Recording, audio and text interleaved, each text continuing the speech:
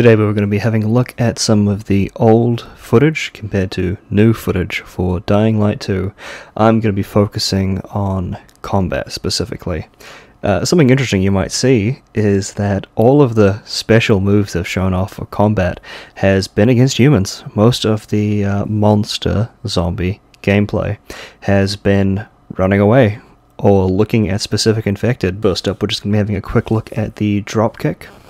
This one's an interesting one. Um, it almost seems as though the jump and the dropkick were part of the same animation in that second clip there. Whereas in that third clip, you almost feel that floatiness for a second. I mean, when you compare the first one directly to the third one, uh, there does feel like there's a tiny bit of float.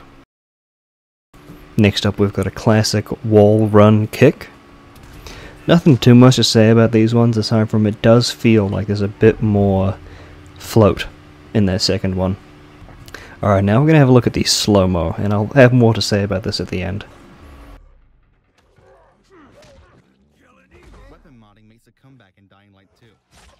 Here I've got a couple examples of blocking and retaliating.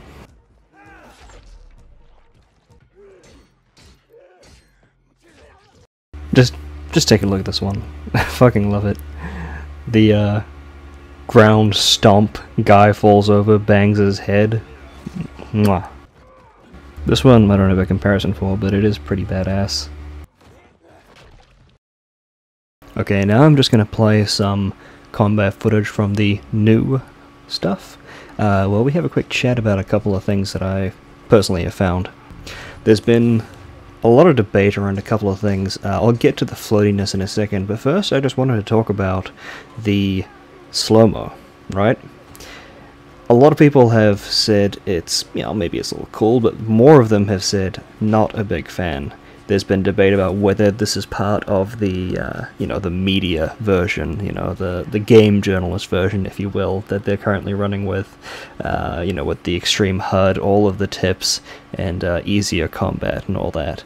Um, it's possible. There hasn't really been any confirmation on it as far as I know, uh, but I've been thinking about the way that I think it should work. I personally think that it's fine to have in the game, but you need to have it scale with difficulty. Uh, and not just like a flat scaling, like you want to have it, you know, decrease by whatever modifier you choose, you know, whatever it is, per level of difficulty raised.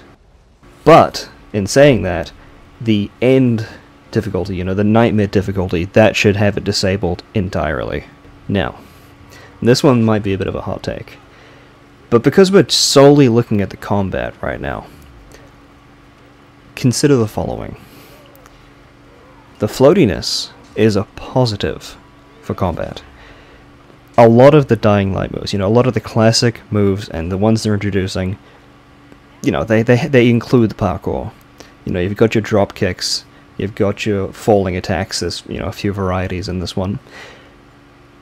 The floatiness gives you more time to, you know, assess the layout of the enemies on the ground, choose what move you're going to use, and aim it. Uh, if we completely ignore the feel of the parkour, and we're just talking about dealing with a group of enemies, it's a positive. That'll do it for now. It's quite possible that I will be making a follow-up video to this, if it is received well, because there's a lot more to go over. But, for now, thank you for watching, and I will see you next time.